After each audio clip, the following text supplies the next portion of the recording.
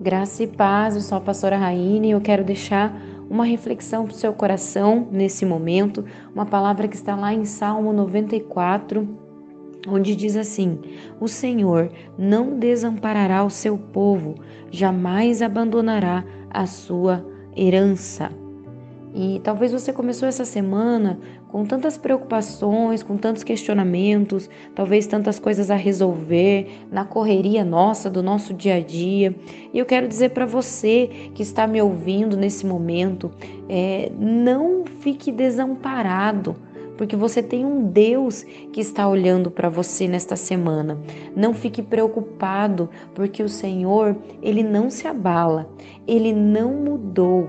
Talvez você está pensando que está passando por algo muito difícil, que você está oprimido, mas eu quero dizer para você, o Senhor jamais abandona a herança dele, e nós somos a sua herança, nós somos a menina dos seus olhos. Ele jamais irá nos abandonar. Ele continua sendo nosso amparo, ele continua sendo a nossa torre forte, o nosso refúgio, o nosso alívio.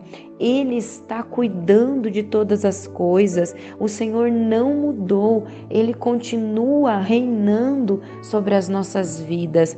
A palavra do Senhor nos diz que talvez quando os nossos pés estão para escorregar, o amor leal do Senhor tem nos amparado. O amor leal do Senhor tem nos trazido graça, tem nos dado a, a direção para continuar seguindo, para que não não venhamos ser abalados. Por isso eu quero trazer para você, não se abale. Nesta semana, o Senhor está cuidando da sua vida. Você é a menina dos olhos do Senhor. Quando a ansiedade já nos domina, o consolo do Senhor traz alívio para as nossas almas. O consolo do Senhor traz a calma que nós precisamos. Então, que você possa ficar com essa palavra nesta semana pra, para o seu coração. Como é feliz o homem a quem teme ao Senhor, como é feliz a mulher a quem teme ao Senhor. O Senhor não vai te abandonar, o Senhor não vai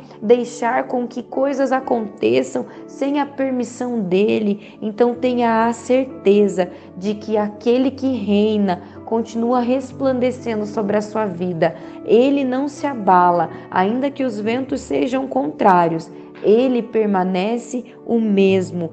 Ele não mudou. Amém? Que Deus possa abençoar a sua semana.